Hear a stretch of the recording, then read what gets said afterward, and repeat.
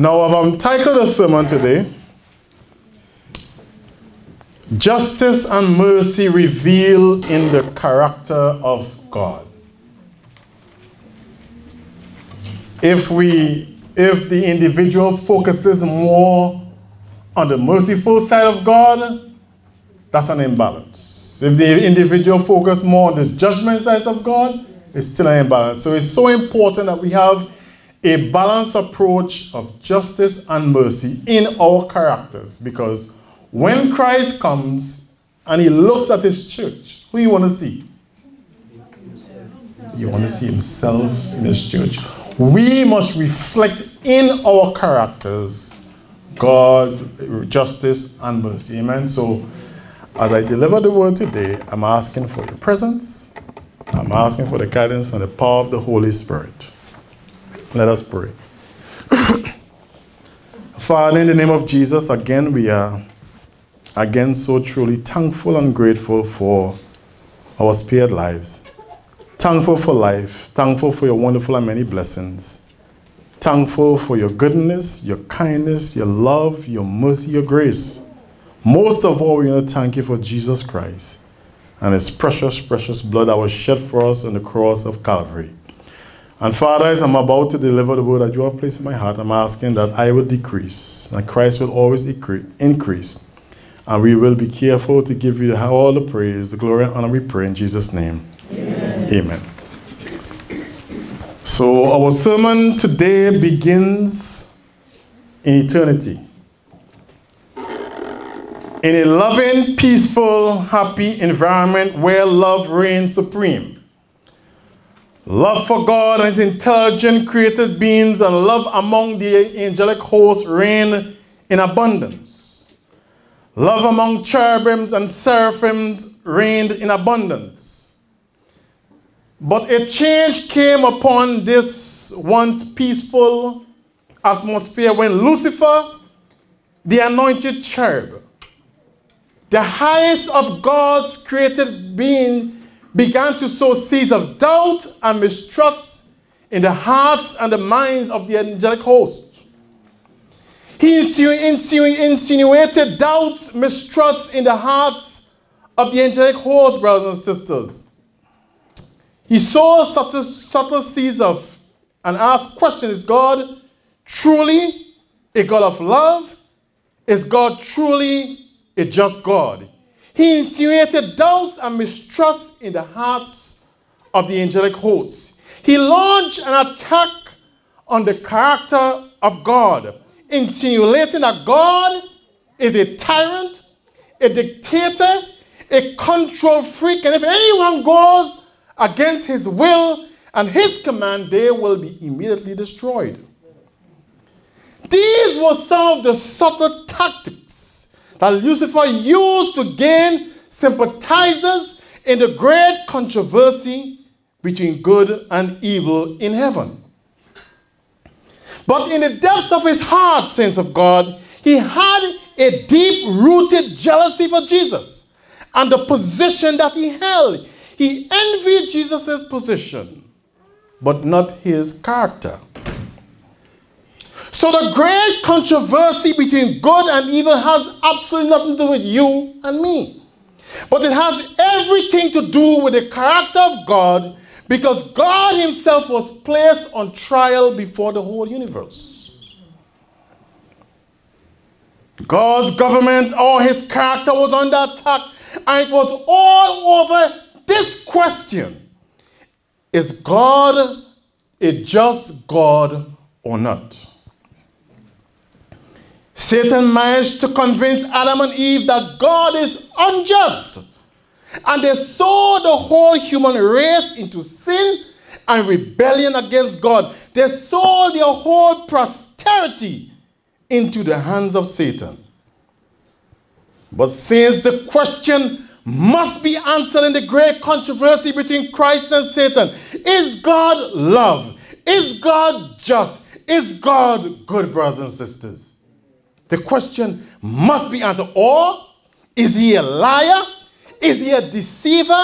Is he unjust? Is his government defective and needed change or needed to, be, needed to be changed or altered?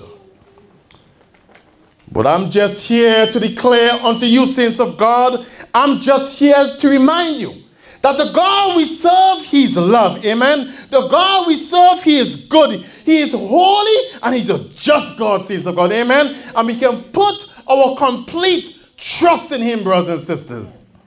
And when I say just, I'm talking about He is fair, He is reasonable. Satan accused God of being two faced. Because another powerful, powerful argument or charge that Satan brought against the government of God was that, is that justice was inconsistent with mercy. The pen of inspiration declares, listen carefully, saints. At the very beginning of the conflict between good and evil, Satan had declared that it was impossible to obey the law of God. He claimed it was, it was hard and too rigid. Satan also declared that justice was inconsistent with mercy, and that if the law of God were once broken, it was impossible for the sinner to receive forgiveness. He also declared that if God were to cancel the punishment for sin, he would not be a God of justice.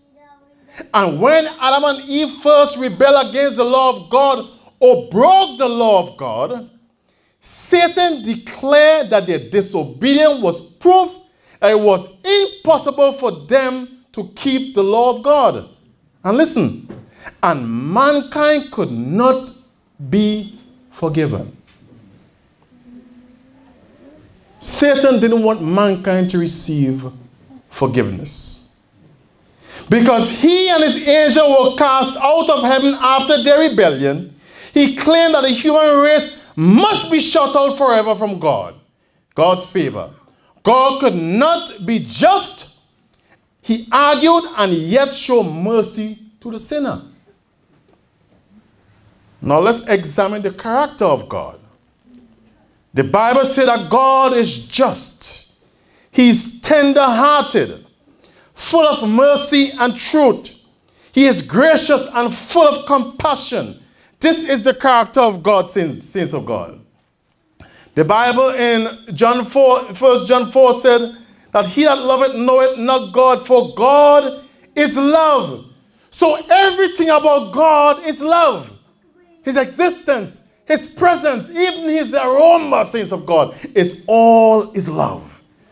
And then justice and judgment are the inhabitants of thy throne. Mercy and truth shall go before thy face, Psalms 89.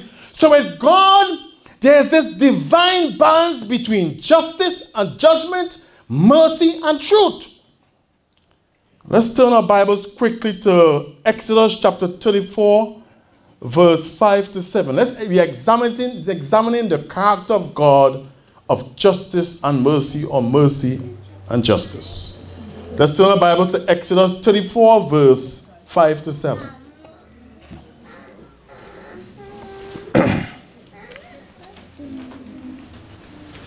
and the Bible says, The Lord descended in the cloud and stood with him there, talking about Moses and proclaimed the name of the Lord.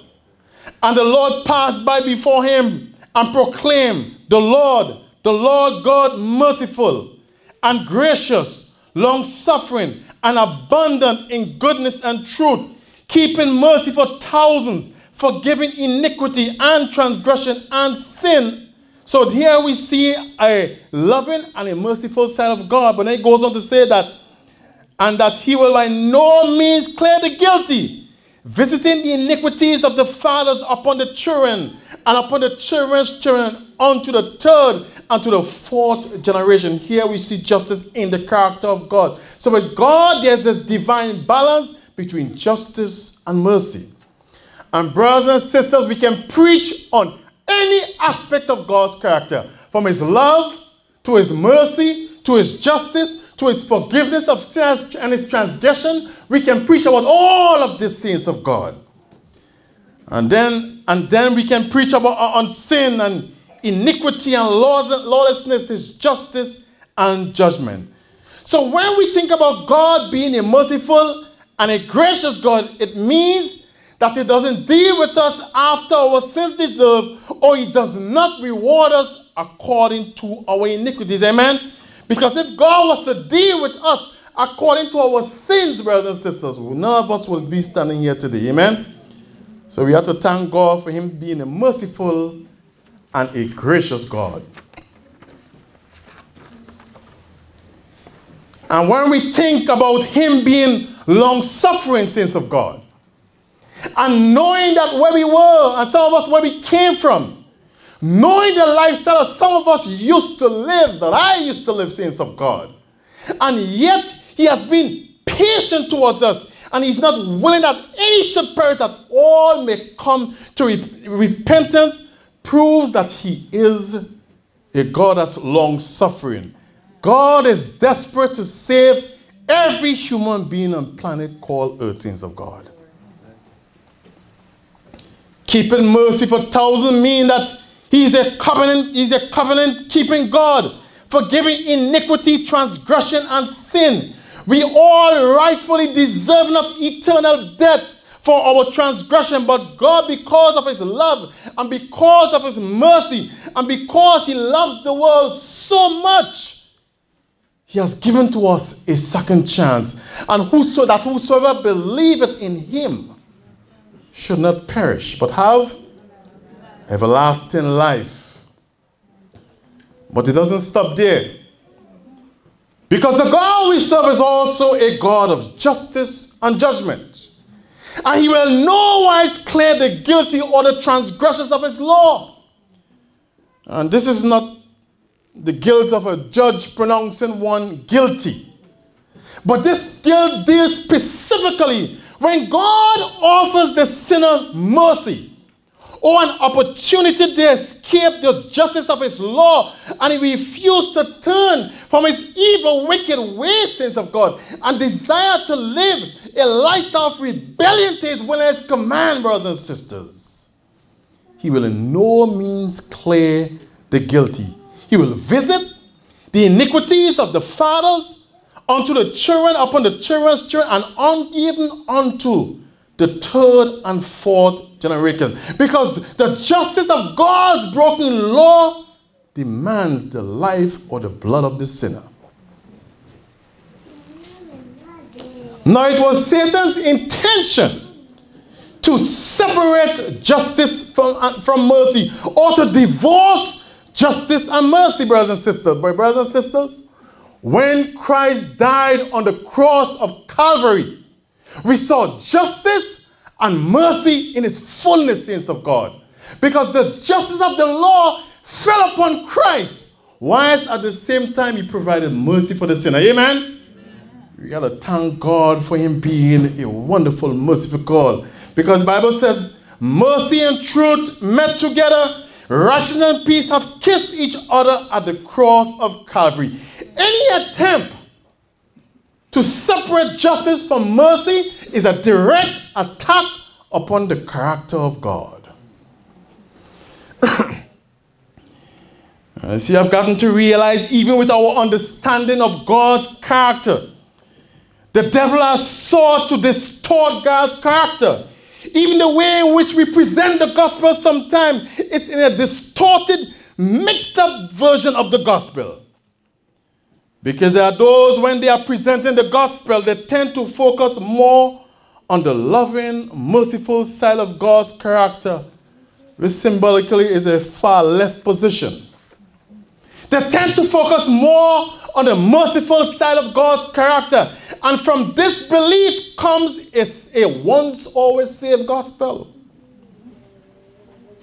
And that God is so merciful that he does not destroy a happy-go-lucky religion, brothers and sisters, it gives way to liberalism, um, cold formalism, a religion where everything goes because God is so merciful and God is so loving that there is no punishment for sin and no consequences to one's action, and we all will make it to heaven.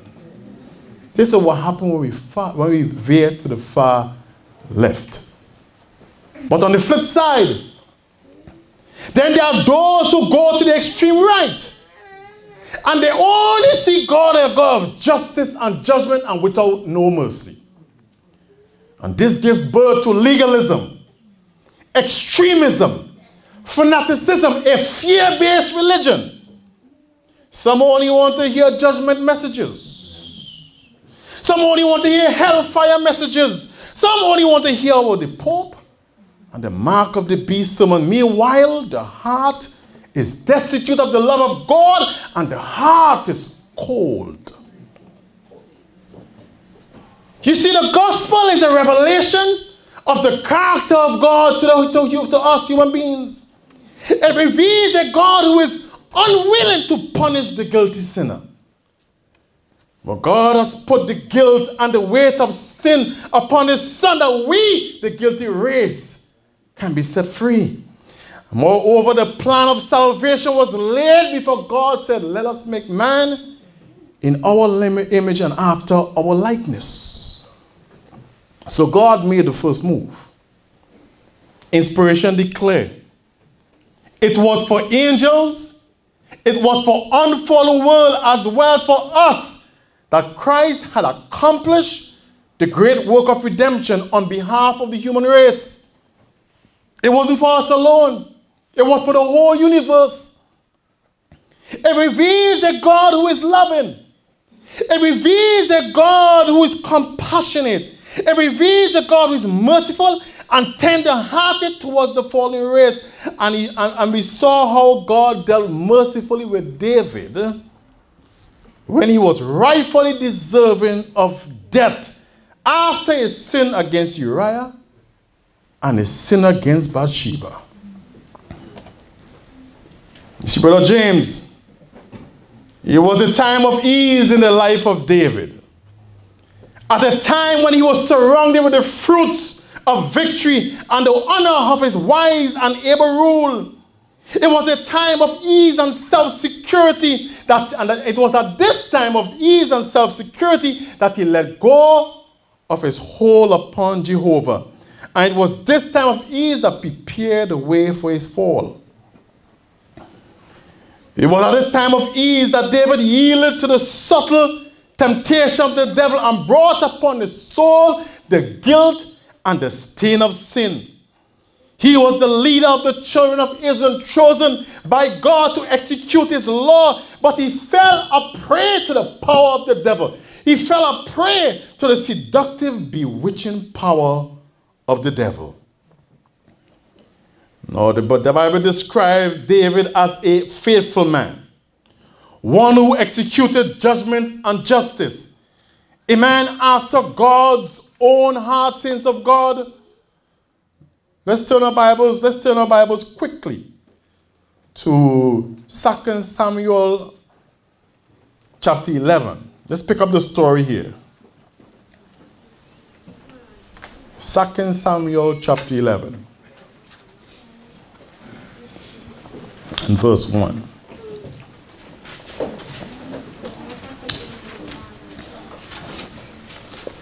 And the Bible says it came to pass after the year was expired, at the time when kings go, go to fort, fort battle, that David sent Joab and his servants with him and all Israel, and they and they destroyed the children of Ammon and besieged Rabbah but David tarried still in Jerusalem. And it came to pass in the evening time that David arose from off his bed and walked upon the roof of his house. And from the roof he saw a woman washing herself. And the woman was beautiful to look upon. And David sent and inquired after the woman. And one said, Is not this Bathsheba? The daughter of Eliam, the wife of Uriah the Hittite. And David sent messengers and took her. And she came unto him and lay with her, for she was purified from her uncleanliness, and she returned unto her house. It seems like Bathsheba was kind of light-headed, brothers and sisters. A woman, please, don't allow yourself to be a Bathsheba. Please. I don't care how tall he is. I don't care how handsome he is, or how charming, or how powerful he is, or how, or how good he can preach, or how good he expound on God's word, or how much money he makes. You say no to the devil. Amen? You say no to the devil.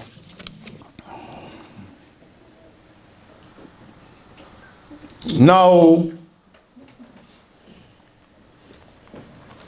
David committed an act of adult, adult, idolatry. Right?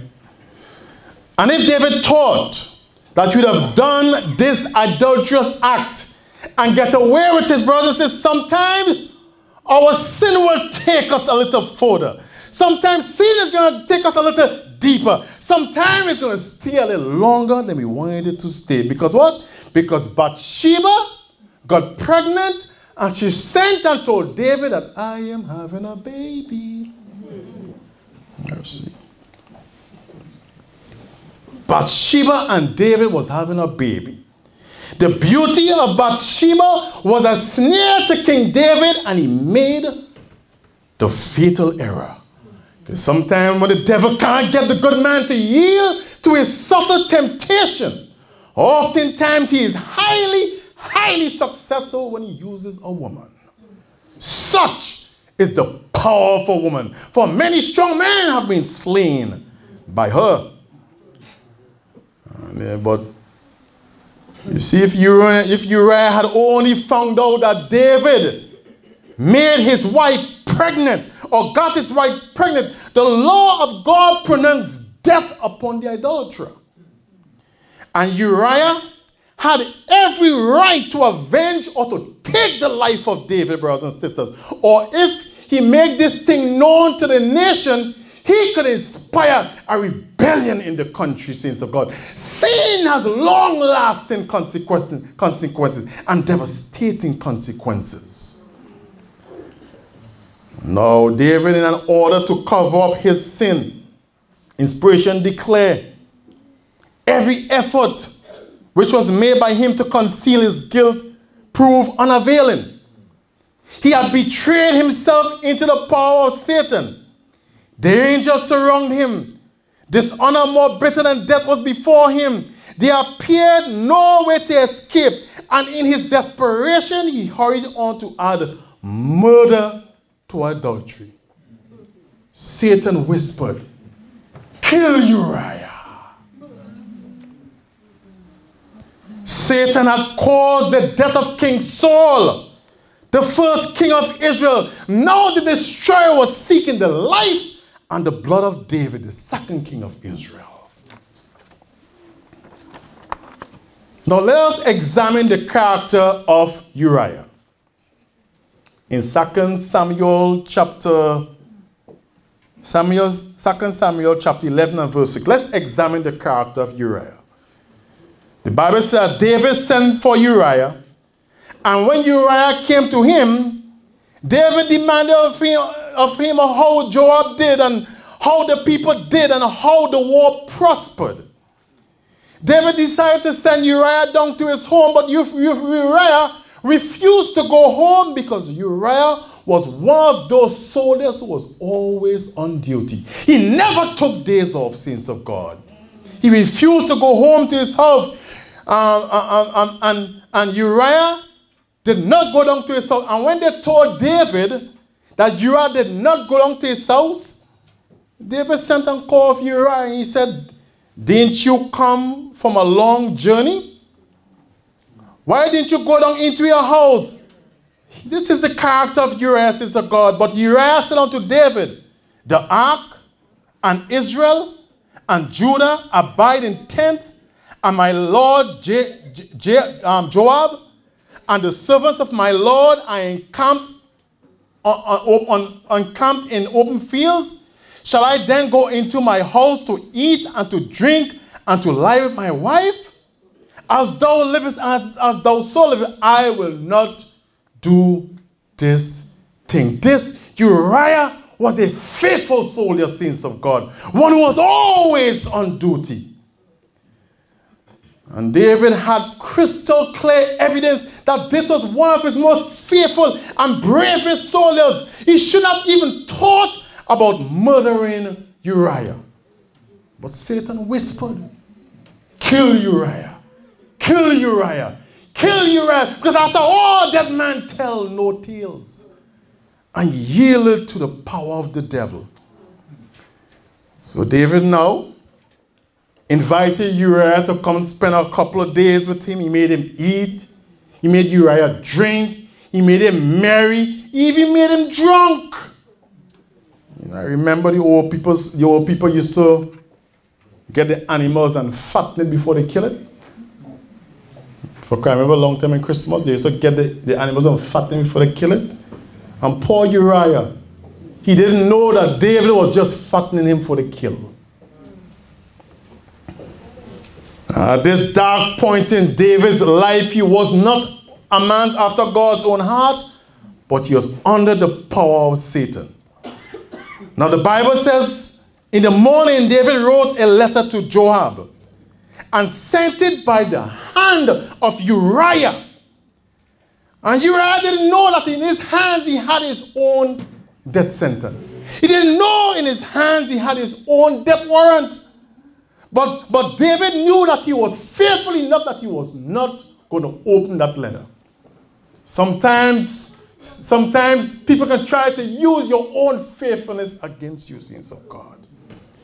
He wrote in a letter saying, Set Uriah in front of the hottest battle and retire ye from him that he may be smitten and die.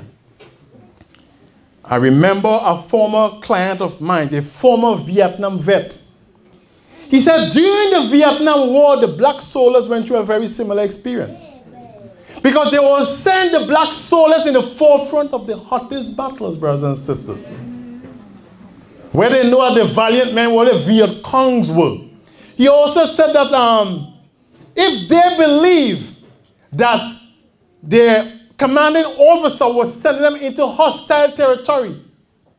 He said, Man, we will turn around and kill him. And then make it appear like enemy fire, saints of God. War nothing to play with. And after all, Uriah was a Hittite. He wasn't an Israelite. So sometimes it's easier to send another man of another country, another race into the forefront of the hottest battle. And so the Bible says that the shooter shut off the wall upon thy servants, and some of the king's servants dead, and, and, and thy servant Uriah the Hittite is dead also. Poor Uriah, he didn't even know why he died. He was just being faithful to God and he died, saints of God. And because of his faithfulness of to God, I expect to see Uriah, the Hittite in the first resurrection. Amen? Amen? Now, it was the spirit of self-preservation was why David was attempting to cover up his own adulterous, covetous ways. He planned, premeditated, and executed the murder of one of his most faithful soldiers. He killed Uriah the Hittite. And not only did Uriah die, but other faithful men died as well. Other families suffered as a result of the decision that David made, brothers and sisters. Sin has devastating consequences, sins of God. Now, all David had to simply do, he got caught in adultery. Right? All he had to simply do was to go on his knees and tell it to Jesus. Amen? All you have to just, all you have to do is let the Lord know that you are caught in adultery. Go down on his knees and pray and wrestle God and ask him to deliver him from this valley of shadow of death. Because the Lord know how to deliver the ungodly. Deliver him from the power of Satan, but instead, he trusted in his own self for deliverance, sins of God. And as a result, he plunged himself deeper and deeper into the power of Satan. And every time we try to deliver ourselves from the power of Satan, sins of God, we will make a bad situation worse, sins of God. We'll make a bad situation worse. And Mr. David couldn't even wait for the body to get cold. Because The Bible says early the next morning, he went and he got Bathsheba and he married Uriah, Bathsheba, the wife of Uriah. Have mercy, Lord.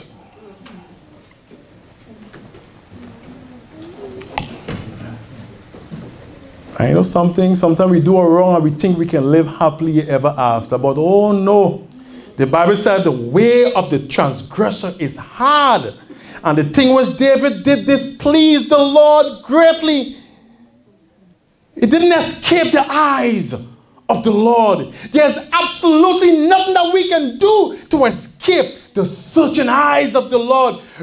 For what we do in secret shall be proclaimed from the housetop, brothers and sisters. So let's be very, very careful.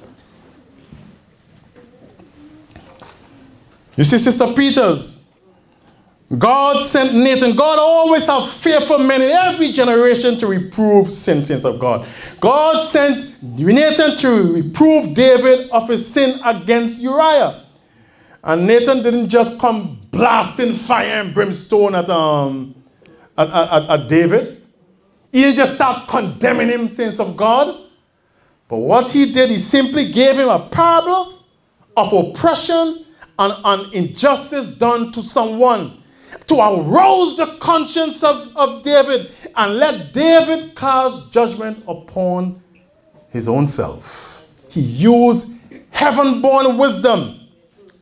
And sometimes we gotta be as wise as a serpent and as harmless as dove, evil when condemning sin and sinners. He gave him the story of a rich man and a poor man, 2 Samuel 12. The rich man had exceeding many flock and herd, and the poor man had just one ewe lamb. And there came a traveler unto the rich man, and he didn't even take off his exceeding great flock to entertain his guests, but he went and took off the only, only lamb that the poor man had. You see, this parable appealed to David because as a child, he was a shepherd. And David's anger was greatly kindled against the man. And he said unto Nathan, The man that doeth this thing shall surely die.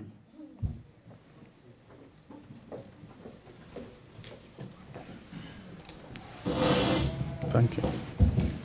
The man that doeth this thing shall surely die. Oh, okay. The man that doeth this thing shall surely die. And there are those who are just like David. Because we are so quick to see the speck in everybody else's eye and don't know that we got a beam in our own eyes, saints of God. So in 2 Samuel chapter 2 Samuel chapter 12, verse 16 to my mother-in-law. And Nathan said to David, Thou art the man Yes. Thus said the Lord God of Israel, I anointed thee king over Israel, and I delivered thee out of the hand of Saul. And I gave thee thy master's house and thy master's wife into thy bosom, and gave thee the house of Israel and Judah. And if, and if that had been too little, I would moreover have given unto thee such and such things. Up to 12, you said? Mm -hmm. Yeah, up to 10 to 10. Wherefore hast thou despised the commandment of the Lord to do evil in his sight? Thou hast killed Uriah the Hittite with a sword, and hast taken his wife to be thy wife, and hast slain him with the sword of the children of Ammon. Now therefore the sword shall never depart from thine house, because thou hast despised me, and hast taken the wife of Uriah the Hittite yeah. to be thy wife. Amen. Thank you, mommy. Thank you. Amen. So David saw in the eye of sin against the Lord. So in other words, David at that point felt convicted of sin. He felt the guilt and the condemnation of sin, which demands the life of the sinner, and there is no escape. But here what happened.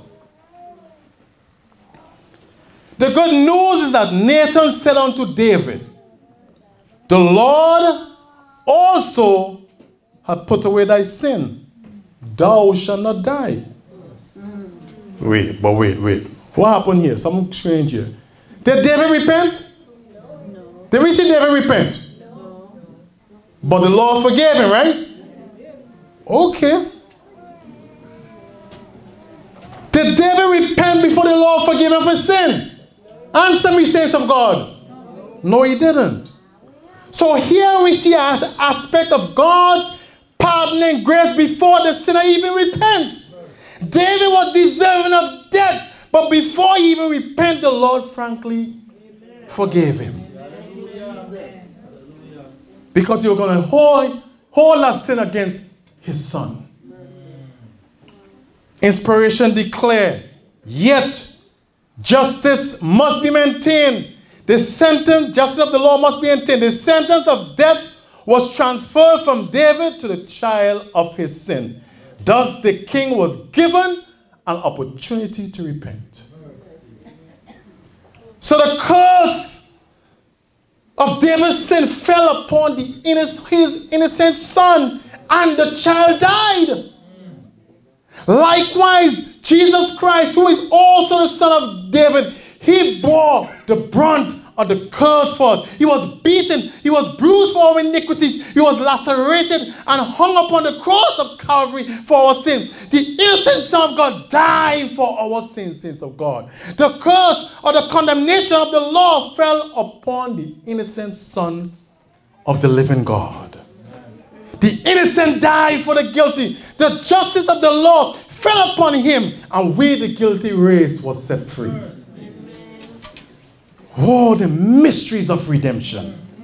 For God so loved the world that he gave his only begotten Son, that whosoever believeth in him shall not perish, but have everlasting life. The songwriter says, Oh, what wondrous love is this that caused the Lord of bliss to bear the dreadful curse for my soul, for my soul, to bear the dreadful curse for my soul. The Bible says it is the goodness of the Lord that led thee to repentance. David fell under the justice of the divine law of God and was rightfully deserving of eternal death. But mercy and grace says no. And as a result of God's mercy towards him, we find a powerful, powerful response to the goodness of the Lord in Psalms 51. Amen? Amen? This was David's response to God's goodness. The fact that he was deserving of eternal death. But Christ took the brunt and the guilty sinner was set free. This here gives us an example of true repentance, true humility, and true sorrow for sin. Let's turn our Bible to Psalm 51. And so the Bible says, this is David's cry to the Lord. Have mercy upon me, O God, according to thy loving kindness, according to the multitude of thy tender mercies. Blot out my transgression. Wash me thoroughly from thine iniquities. Cleanse me from my sin. For I acknowledge my transgression, and my sin is ever before me. Against thee only have I sinned and done this evil in thy sight, thou that thou mayest be justified when thou speakest, and be clear when thou judgest. Behold, I was shaped in sin and iniquity. I was shaped, behold, I was shaped in iniquity, and in sin did my mother conceive me. Verse 7 Purge me with hyssop, that I shall be clean. Wash me, and I shall be whiter than snow. Verse 9 Hide thy face from thy sins and blot out my transgression. Create in me a clean heart, O God, and renew a right spirit within me. David wasn't only praying for pardoning and cleansing, but yes, praying for purity of heart. Amen. And that's the blessing to all repentant sinners. In verse 12, he says, Restore unto me the joy of thy salvation, and abhor me with thy free spirit. Then will I teach transgressors thy way, and sinners shall be converted unto thee. I'll stop there. This was David's response that he was deserving of death, but before he even could open his mouth to say, Lord, have mercy on me, the Lord had forgiven him.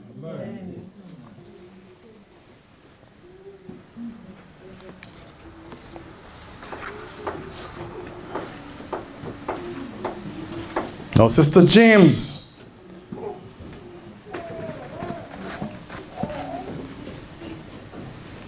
Justice said that David must die, but grace and mercy says no. Give the sinner, the sinner a second chance. So at the end of this dark chapter in David's life, he can confidently declare, Blessed are, who, blessed are they whose iniquities are forgiven and, and, and whose sin are covered. Blessed is the man to whom the Lord will not impute sin. He can confidently declare that God is good, that God, that God is love and God is just, and He's a justifier of all those who come unto Him to Jesus Christ. Amen? Hallelujah. and to those who confidently declare that you must first repent before you can be justified before God, or you must first repent before confess your sin before you can be forgiven. Or the, the individual must first bring a lamb before they can be forgiven. By the way, even though you was bringing a lamb, who provided the lamb? The Bible said God will provide himself a lamb. He told Abraham. This story of David's life refutes the argument that you gotta, you gotta repent first. Because here we see very clearly that David was forgiven before he even asked for forgiveness. And if God has done this for one who coveted after a man's wife, and if he has done this for adulterer and a murderer, don't you think he can do the same for you or me? Don't you think he can do the same for the whole world? You see, the sin here now because we have been forgiven. You see, Lucifer in heaven committed the unpardonable sin, which is a total, final rejection of God and his government. And that's the sin he wants every human being to commit. Yes, he wants us to reject what Christ has done for us at the cross of Calvary. All right. Some still don't believe. Let's, ex let's examine the character of God a little bit further. Let's turn our Bibles to Matthew chapter 5.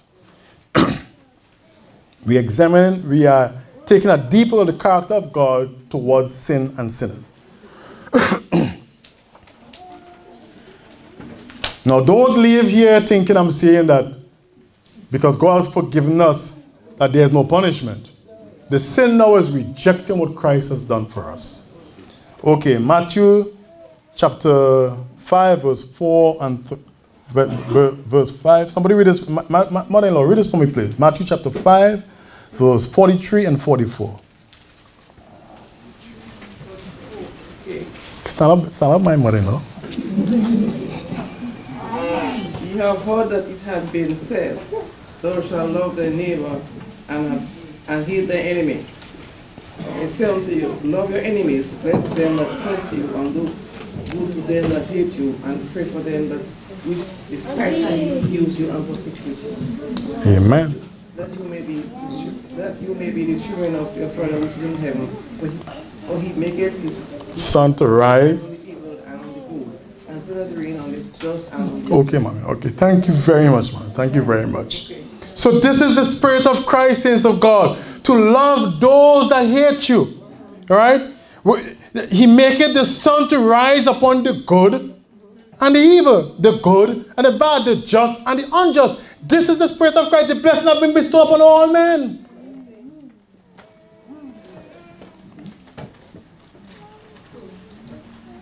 Verse 46 if you love them which love you, what reward have ye?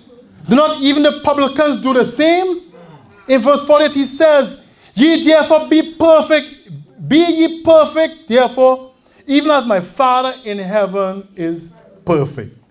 So the fact that God bestows his blessing upon all humanity is a sign of his perfection, and we ought to strive to be like him in character. Now we see the very same principle in the invitation of the gospel. The Bible in Romans chapter 5, verse 6 and 8. For why we were without strength, in due time Christ died for the ungodly. For scarcely shall a righteous man will one die. Yet pre-adventure for a good man some would even dare to die. But God commanded his love towards us in that, in that while we were yet sinners, Christ died for us. Jesus didn't, Jesus didn't just die in time. Jesus died in eternity. It was just manifested in the fullness of time.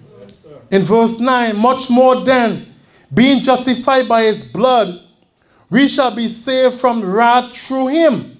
Verse 18, therefore, as by the offense of one, one by one judgment came upon all men to condemnation, even so, by the righteousness of one, the free gift came upon what?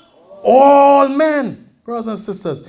This is the spirit of Christ and the invitation of the gift, the, the gospel.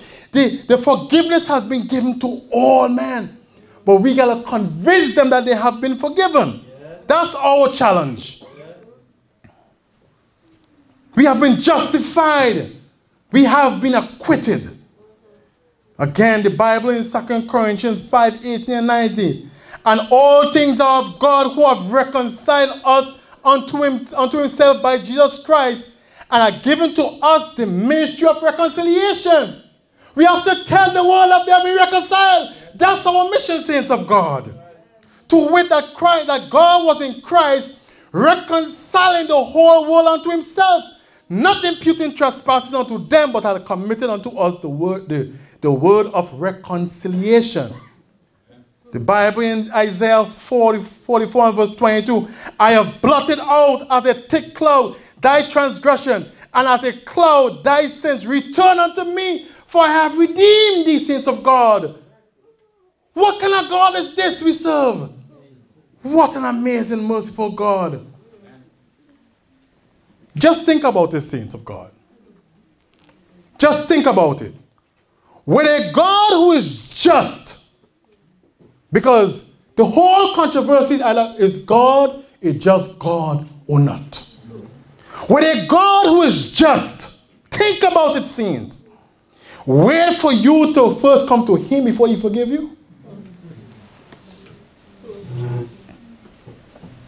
Or will a just God forgive you before you even think about coming to Him? Especially when the whole universe was just zeroing on the character of God. The whole universe was looking at God's character. Is he just or not? You think a just God gonna say, hey, come to me for when you come to me, then I'm gonna forgive you? No, that's not the character of God, that's how men think. And understanding what took place in heaven and the principles that are involved in the great controversy between good and evil and how God was falsely accused by Lucifer of being unjust. Think things of God. How could, how could a, a God that is a God that is good and a God that is love and a God that is just wait for you to first come to him before he can grant you forgiveness? When there's none that seeketh God, there's none that do it good, no, not one. Or could mortal man be more just than God? That's the question, the great controversy. Or will a just God forgive us before we even think about repentance? For while you are his enemies, the fact that God is not willing that any should perish and that all should come to repentance prove that he is a just God, saints of God. And he has justified all them who come unto him by Jesus Christ. So the next time we read John 3 16, we can never ever read it the same. For it says, For God so loved the world that he gave his only begotten Son, that whosoever believed that God made the first move, whosoever believed that we have been forgiven, whosoever believed that we have been acquitted, Whosoever believe that we have been redeemed from the curse of the law. Whosoever believe that the condemnation has been removed. Whosoever believe that we have been reconciled by him by the death of Christ should not perish, but have everlasting life. For I am not ashamed of the gospel of Christ. For it's the power of God unto salvation. And when we present the gospel in the light of corporate forgiveness, it destroys the spirit of legalism. It destroyed the spirit of the Pharisees. It destroyed the works of the law, and simultaneously we are vindicating the character of God and declaring that God is just. It also gives the gospel power power to change lives, power to overcome sin in our lives, power to melt the stony hearts. It magnifies the name of Jesus Christ. It lifts up the law of Jesus and the promise that will draw all men unto Christ. Amen. Sister Julian, Amen. how you doing? Don't miss the word, sister. You see, when we present the gospel to only, when we only present the gospel to our First John 1 9 perspective, the sinner will always delay giving their heart to Christ. Because he or she feels that there's a work that they must do within themselves to be justified before they come to Christ. And from this stems the spirit of, I'm not ready. Maybe tomorrow. Right? Because they feel that they got to do something to make themselves right before God.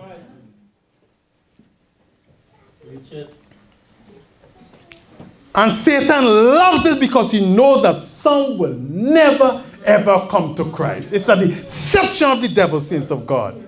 But when the sinner sees that he has already been acquitted and the condemnation has been removed, and God has not holding the sin against them, but he has, he has held the sin against his son, now the heart is open for the sinner to receive the Holy Spirit. Now the heart of the sinner is open for the Holy Spirit to do its work, saints of God. The heart is wide open to accept the love and the grace of Christ into the heart, and Satan's power will be broken, and his kingdom cannot stand, saints of God. And to those who still don't believe that we were, all were justified, let's see what the pen of inspiration says. I'm bringing this thing home now. to those who still don't believe, hear what the inspiration said. It was taught by the Jews that before God's love is extended to the sinner, he must first repent. So it's a deception of the devil to think that you gotta first repent before you come to Christ.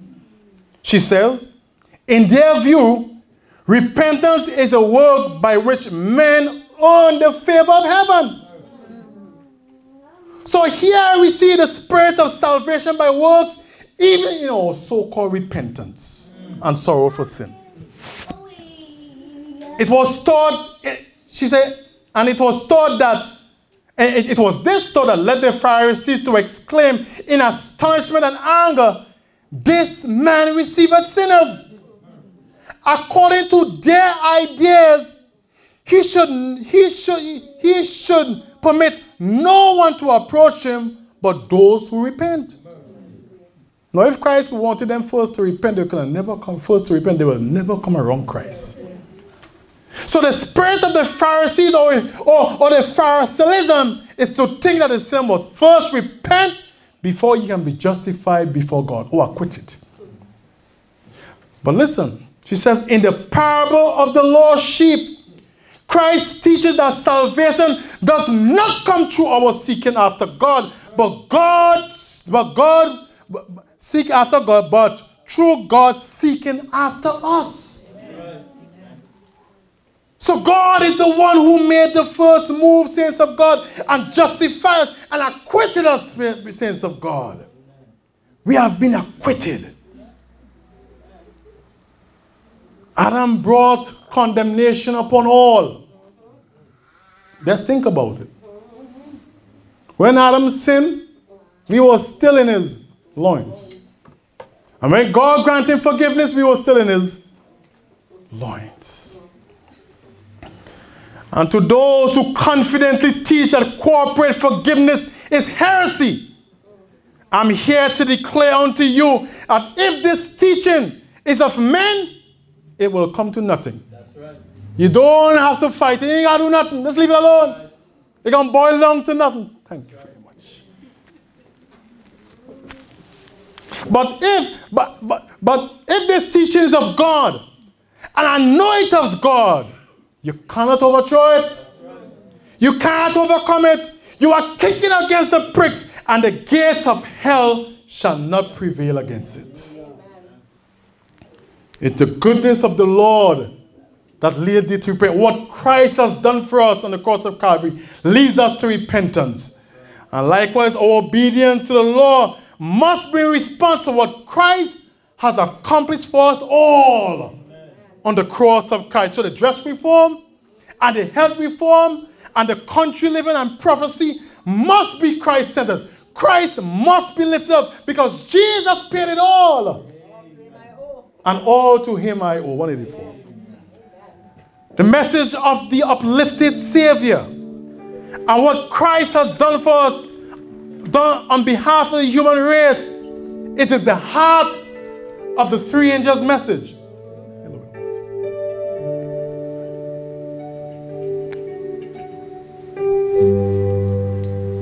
The Lord, in His great mercy, has sent the most precious message to His people. This message was to bring more prominently before the world the uplifted Savior, the sacrifice for the sins of the whole world. It presents justification through faith and his charity and inviting the people to receive the righteousness of Jesus Christ, which is made manifest by obedience to all of his commandments.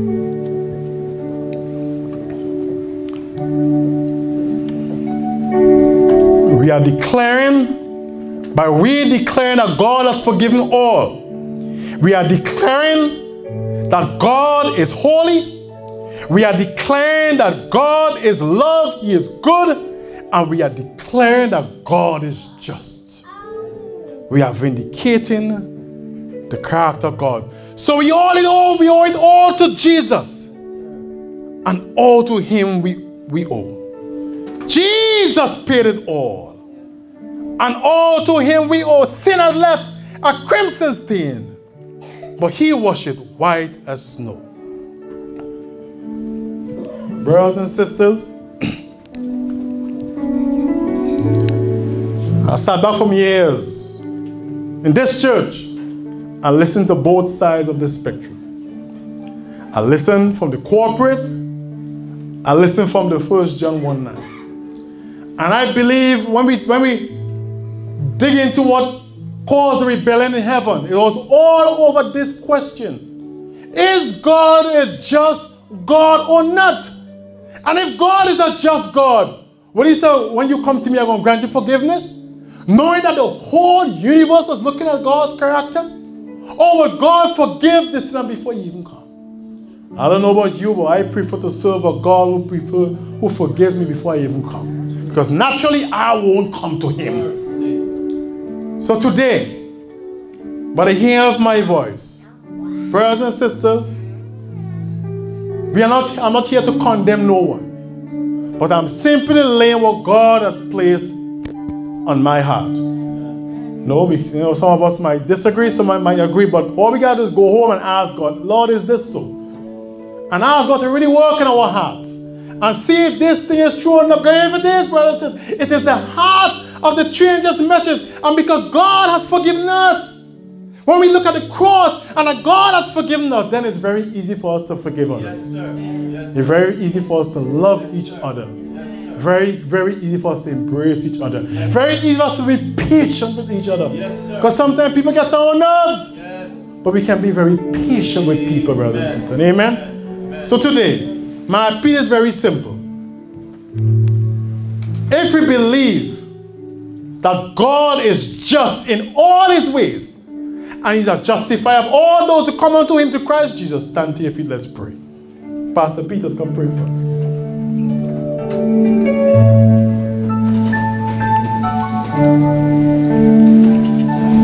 spoken to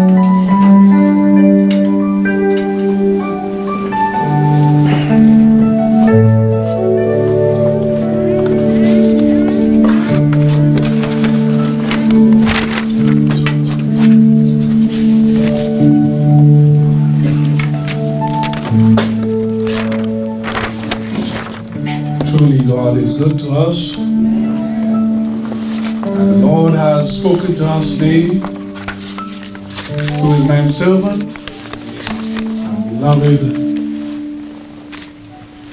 If you believe that Christ loves you and that he has died for your sins and has forgiven your sins and now is calling on you now to give your heart wholly to him so that he can purify you of sin. Yes.